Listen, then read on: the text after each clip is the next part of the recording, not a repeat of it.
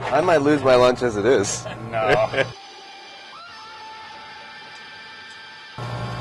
When the thing takes off, it feels like you're going up and to the left. Yeah. What that is is the linear acceleration during flows make you feel like you're going up. Yeah. Once you're at about two and a half feet, it's going to feel like you're going straight up in a rocket. You ready? Yeah. Data station? Is ready, operator? Is ready, medical. Is ready, phone ready, please. Stand by. We're set limits for 3G. Three, two, one, engage.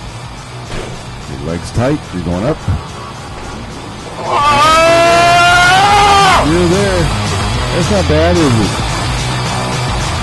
Yeah, of course. It's not that bad, though, is it? And you're coming down. Stay tight. Good job. There you go. Get your camera ready, Chris.